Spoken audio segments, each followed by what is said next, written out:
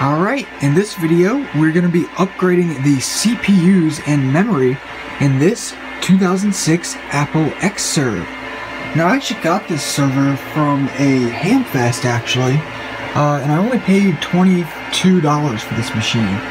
Um, it didn't come with any hard disks, but it did come with 16 gigs of DDR2 ECC memory. Uh, it came with the optical disk drive installed, uh, and it was a fully working machine. So uh, I have it booted up right here, and this is actually hosting uh, my web server currently. We can go into about this Mac here and take a look at the uh, current specs of it. Uh, so as you can see here, this is running OS 10 El Capitan version 10.11.6. Uh, it is of course the original Intel Xserve. Uh, it currently has two 2.66 gigahertz dual-core Intel Xeon processors. Uh, those are Xeon 5150 CPUs. Uh, it has 16 gigs of RAM, um, and it has an ATI Radeon X1300 video card, uh, which I'm actually going to try to upgrade in this video as well. Um, I don't have a Mac flash card that will fit in this machine, uh, but all I need is a PC graphics card just so uh, I have graphics acceleration in OS 10. Uh, as you can see right now, there is no graphics acceleration whatsoever. Um, so yeah, I'm to go ahead and uh, shut this machine off. I'm to go ahead and open it up. And we're to begin the process of installing the new CPU's RAM and video card. Now, this is hosted my web server and there are probably clients connected to it right now. So uh, I'm just to shut it down and they're just to have to uh, connect and try again at a later time. So, go ahead and shut the machine down here. Wait for it to shut down.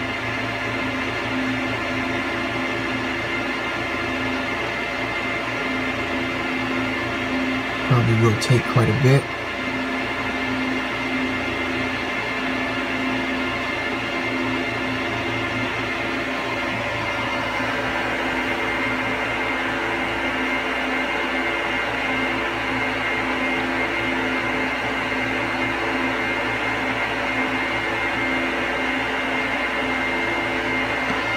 Still shutting down here. Should take a few more seconds. Alright, well it seems to be taking quite some time to shut down, so I'm just going to pause the video here uh, and resume it once uh, the machine is shut down. Uh, and we can go ahead and get started on the upgrades, so I'll be right back. Alright, so I've now gotten the Xserve shut down and uh, taken the top cover off, and you can see how big this thing is inside. Now, um, as you can see right here, we've got 8 slots of DDR2 ECC memory. Um, I'm going to take all of these 4 gig modules out, or these 2 gig modules out, and uh, replace them with these 8 4 gig modules, which will bring us to a total, total of 32 gigs of RAM. And then I'm going to go ahead and take this shroud off, which may just be hot swappable. Uh, no, it does look like there are some screws here. So I'm going to go ahead and take these out. Uh, and then we're going to go ahead and install the CPUs. Uh, so let me get all this taken out, and uh, I will be right back. Alright, so I have uh, gone ahead and rigged up a little bit of a tripod here for my camera. Now, um, I am, uh, the room that this machine is in right now is the same room as my uh, house's furnace. So uh, that might uh, turn on during this video, and if it does, uh, it will be a little bit loud, and I apologize ahead of time for that. But for now, what we're going to go ahead and do is start by removing this cover right here. So I'm going to go ahead and take my Phillips head screwdriver, just unscrew these uh, five screws right here.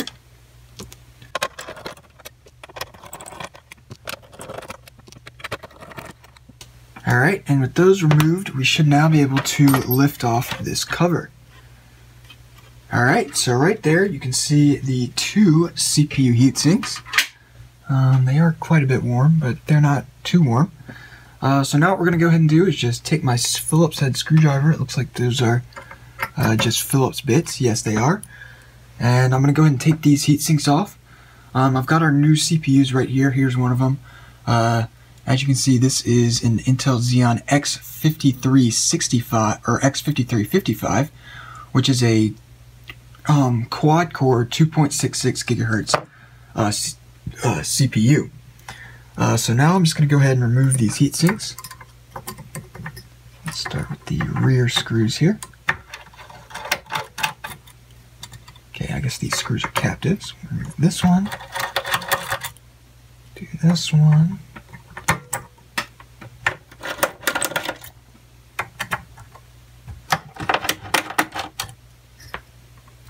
Remove this heatsink. And its thermal sensor right there. Alright, so here's one CPU heatsink removed. as you can see, these are quite big. Um, as you can see, they're about as big as my hand. So, yeah, they're pretty big CPU heatsinks. Of course, not as big as the ones in the uh, Mac Pro, but uh, they are indeed quite big. Uh, so that is the CPU B heatsink, as you can see right there. Um, so now let me go ahead and take this one off.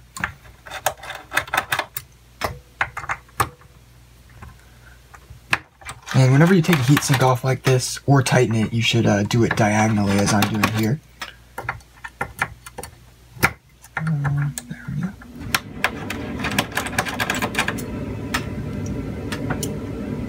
So let's go ahead and this for the thermal sensor.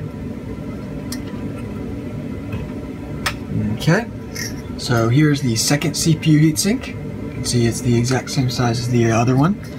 So I'll go ahead and take that off and set it to the side here. And now we'll just go ahead and remove the original CPUs. So we can just uh, remove the socket like this and just go ahead and take them out. Uh, so yeah, as you can hear, my furnace just cut on, so sorry about that. But um, here are the original CPUs, or here's the uh, one of the original CPUs. So like I said before, these are uh, 5350, or no, 5150 CPUs, Xeon 5150. Um, so that's not what I want to do. So let's go ahead and open this one up, remove this CPU, and uh, yeah, as you can see, both CPUs have been removed. Uh, so what I'm going to go ahead and do now is I'm going to go ahead and clean off the uh, thermal paste on the bottom of these heat sinks here. Um, clean off the new CPUs with some rubbing alcohol and uh, go ahead and install the new CPUs, uh, apply thermal paste, and reinstall the heat sinks. So once I get all the thermal paste cleaned up, I will resume the video. Alrighty, so I've gone ahead and cleaned off the CPU heatsink surfaces and the uh, mating surfaces of the new CPUs with some 91% rubbing alcohol. And um, yeah, so now the CPUs are ready to install. Uh, now when you clean the CPUs off, you also want to make sure uh, that you clean the uh, bottom pads off as well, as sometimes those can gather a little bit of dirt and uh, a little bit of, uh, you know, just some dirt or microscopic substances that can actually cause the connection not to mate properly with the pins in the socket. so you should always just make sure to clean the bottom pads with rubbing alcohol as well. So I'm going to go ahead and take one of the X5355 CPUs and install it into its socket.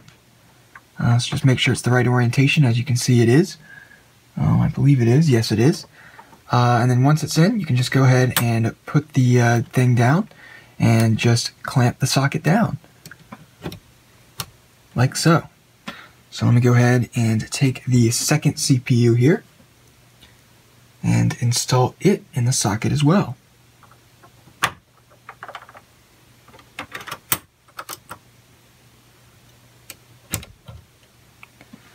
Alright, so now once both CPUs are installed in their sockets, we can go ahead and apply some thermal paste. Uh, so I've got some Arctic Silver 5 right here.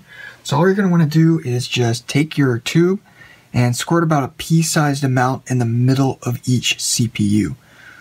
So I'm going to go ahead and do that.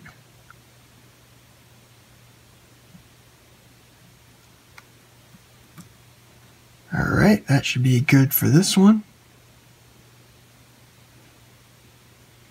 And we'll put the same amount on this CPU as well.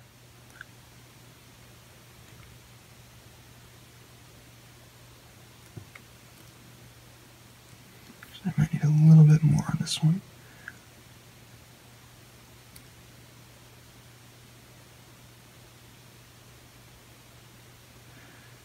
Alright, and that should do it.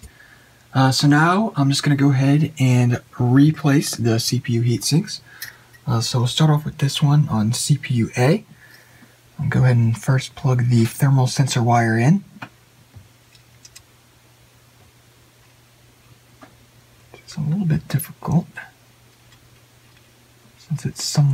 short.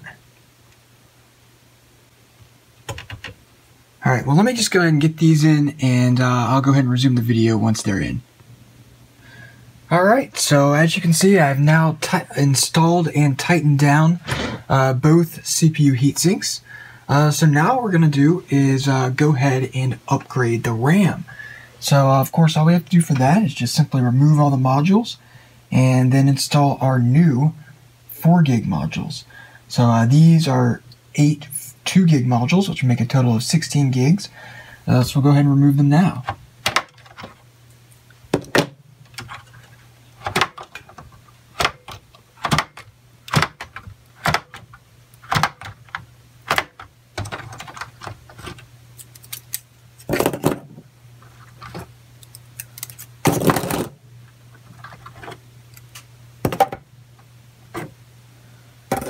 Alright, so all those are removed. So now we just install our new RAM.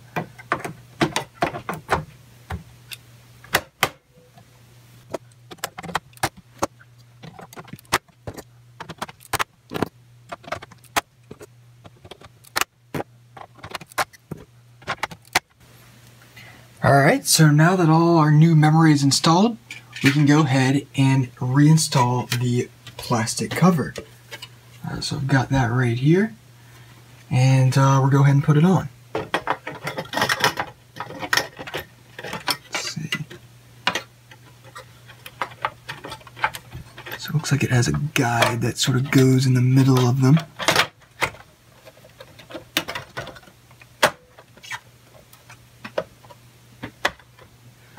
Alright, so there's that in place. So now all we have to do is re-screw in those five Phillips head screws.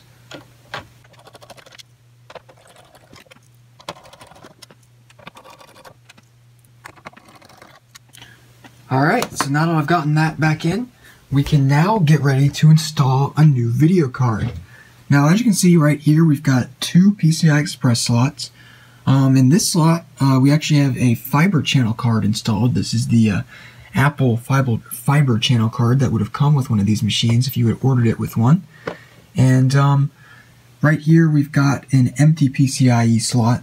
And uh, right there is actually the uh, other GPU, the Radeon X1300. Uh, it is using the uh, what Apple calls the mezzanine slot uh, on the board uh, for it. Um, but of course we can just add a second graphics card in there. I am going to keep this one in place just because it's flash for Mac, of course, and it uh, can show a boot screen. Uh, but the card I'm going to put here does not support a boot screen since it is not uh, a Mac Flash card. And if that does end up causing some issues, I'll just take it out and get a actual flash card that will fit in here. Uh, but I'm going to go ahead and install one that's not flashed that I know works with OS 10, test it, and uh, hopefully that should work. Uh, so I'm going to get this PCIe board and bracket out and we'll go ahead and install the video card then. So I'll be right back. Alright, so um, we're now ready to install the new video card. Uh, so this is the video card we're going to be installing. Uh, this is an AMD Radeon HD 6670 graphics card. Uh, as you can see, it is a relatively slim card. Uh, it only uses one uh, one height of a PCIe slot, so it should fit uh, perfectly fine in this machine. So go ahead and set it there. Um, so this is a little PCIe bracket that goes uh, right here in the machine. So all we have to do on this is just take out the uh, slot blink, which just comes out just like this. And then we'll just take our video card, um, put it in the slot, just like this.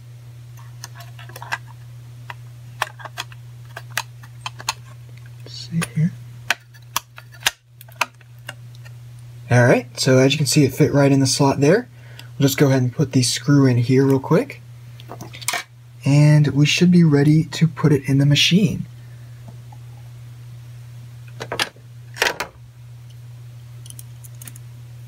So let me go ahead and this in real fast.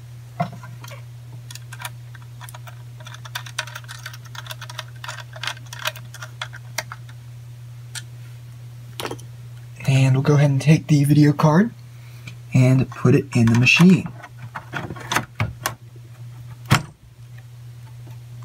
Alright, it seems to fit pretty well in there. Uh, so now you just have to screw in these two screws on the outside to hold it in place. Just like so.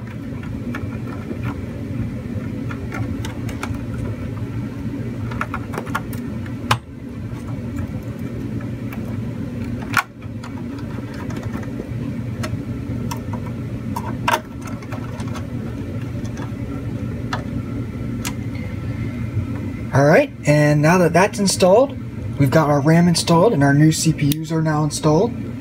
Uh, we can just go ahead and put the top cover of the Xserve back on, uh, boot it up, and see if it works. So I will be right back. Alright, so I just got finished doing a little bit of testing and it turns out that this machine will not boot uh, with both video cards installed and it will not show any video uh, if only uh, this video card is installed. So I did try both configurations and it didn't work either way. So I just went ahead and reinstalled the stock card and removed this one and uh, now the machine should work just fine. So I'm going to go ahead and uh, turn it on now. As you can see, uh, it is plugged in. So we'll go ahead and power it on.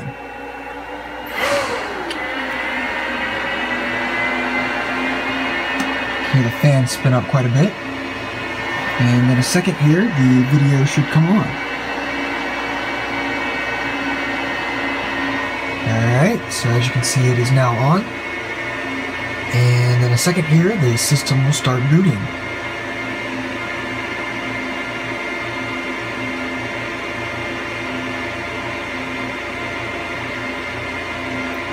Alright, so as you can see the machine is now booting up. Um, so this will take a little bit of time, so I'm going to go ahead and pause the video here uh, and resume it once the machine finishes booting. I'll be right back. Alright, so you can see that the machine has finished booting. Uh, so let's just go ahead and take a look at About This Mac and make sure everything's detected. So you can see here that it detects the CPUs as two 2.66 gigahertz unknown. Uh, that's actually exactly what the Mac Pro 1, 1 detects these as as well. Um, but I'm not sure if there's a firmware update uh, that you can flash on these to get it to detect those CPUs properly. Now, of course, since this is a server, that's really no big deal. Uh, but if there is a way, uh, I might consider doing it. Uh, as you can see, for the RAM, we've got all 32 gigs detected. Uh, if we head over to the memory tab, uh, you can see it detects all 8 4 gig modules. for the video, of course, we've got the ATI Radeon X 1300 uh, no accelerated video still, of course, because uh, it did not work with that video card. Uh, but once again, it's a server, so it really doesn't matter all that much. Uh, I would have liked it just to get a higher resolution, though, because uh, this, without acceleration, is limited to 832 by 624, as you can see. Um, so, um, this machine seems to run a lot better now. Um, just going around the user interface, it seems a little bit faster. Uh, you can see the lack of graphics acceleration there. Uh, but let me go ahead and head into our activity monitor here, and we will see if the CPU is uh, detected all 8 cores, and as you can see it is. Uh, and it is running with all 8 cores like it's supposed to. So, that has been the upgrade of this 2006 Apple Xserve 1, 1 to two quad-core 2.66 gigahertz Xeon CPUs and 32 gigs of RAM. So, uh, yeah, that has been the upgrade of this machine. Hope you enjoyed this video.